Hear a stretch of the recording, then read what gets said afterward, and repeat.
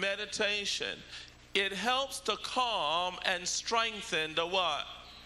Inner man. Now let's go to the scripture in Colossians. Since we're dealing with music and we're dealing with the whole aspect of meditation. One writer says, He who sings prays twice. Amen.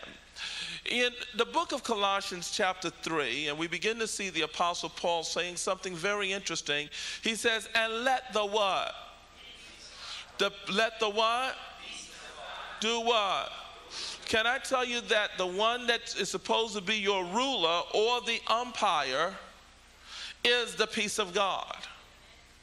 If it's peace, flow with it. If, it's, if it does not produce peace within, don't move with it. Here's a quick lesson on how to hear the voice of God. If, if it's peaceful, then He's leading you towards it. If it's not peaceful, He's leading you away from it. What is it that irritates your spirit could be something that God is trying to give you a warning about. Amen. What is it that affects you within? Not externally, but internally. Because, see, peace does not mean the absence of war. You can still be in war and have peace within. How many know that you can be still going through a situation or in a battle, but you have a peace within? Amen. I, re- I experienced that not too long ago. Amen. I was in a situation where there was a battle going on. Amen. There was darts being thrown. And I cannot express the utmost amount of peace that I felt. I felt so centered in the will of God. And then another dart was thrown from another camp. And the darts just kept coming.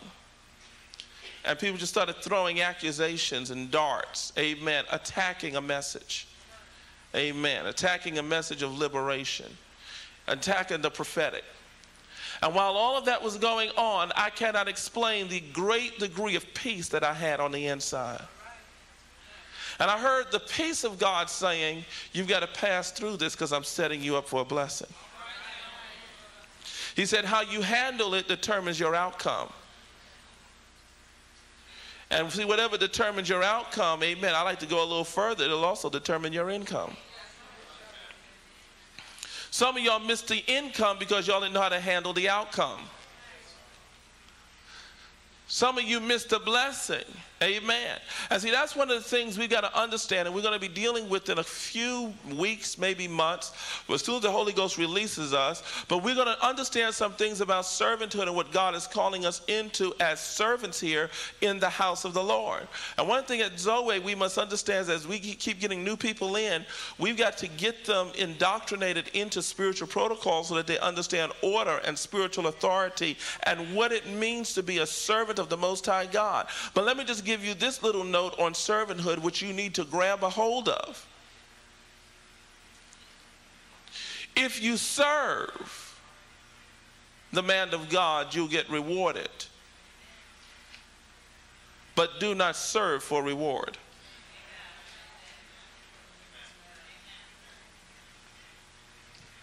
You'll get rewarded if you serve but it is illegal for you to serve looking for the reward.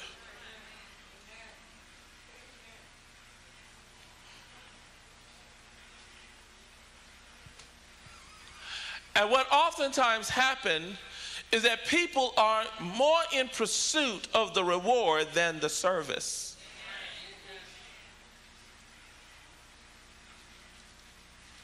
And sometimes we've got to begin to ask what is the call that God has called us unto.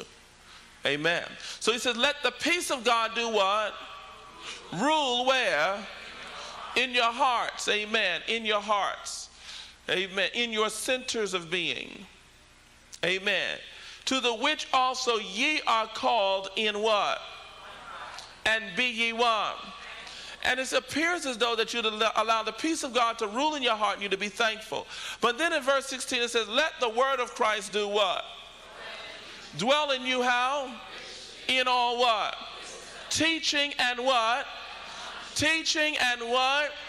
Now, teaching and admonishing, or teaching and instructing you, teaching and admonishing one another in what? Psalms and what else?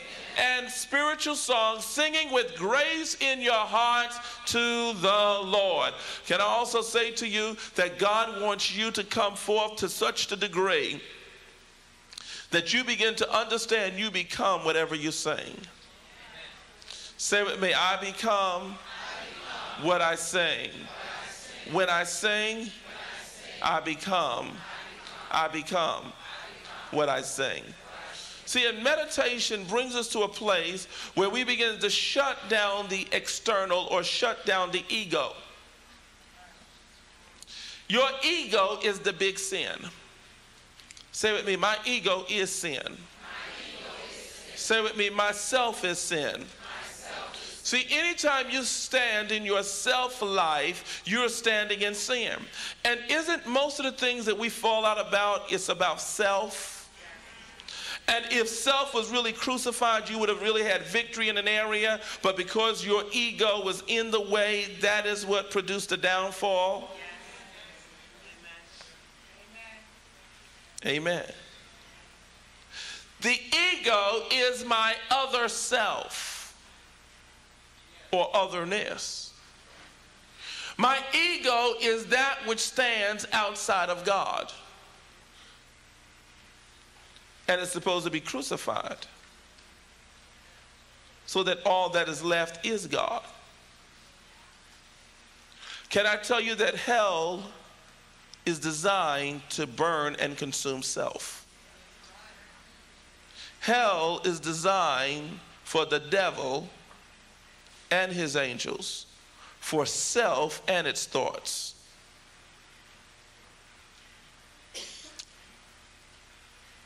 Hell is designed to consume self. See, either you get the baptism with fire now, or you get baptized into fire later. Touch your neighbor and say, either way, you're going to go through the fire.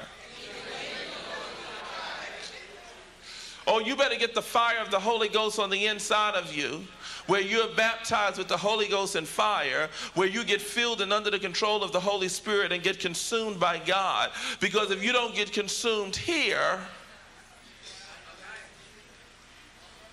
you're going to be consumed down there, wherever down there is. There is a consumption going on. Amen. And probably within the next several weeks, some of your thoughts concerning hell may change. And then others of you are going to find that you're already in hell. So you only go on to the eternal state of what you are already in.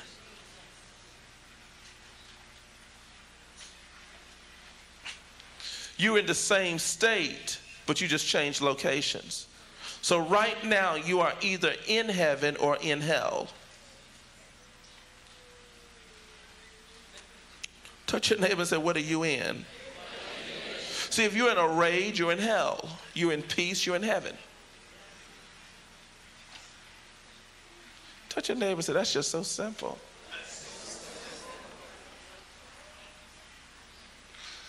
Now let's go on back to the slide. I don't want to get too far off. Next. Now, music plays an important role in meditation. It helps to calm and strengthen the inner man. I'm going to talk about the inner man here in a minute. Meditation will teach us how to reach into the depths of our spirits and go into areas where we have never been in been where we've never been to connect with God. Can I tell you that heaven is just union with God?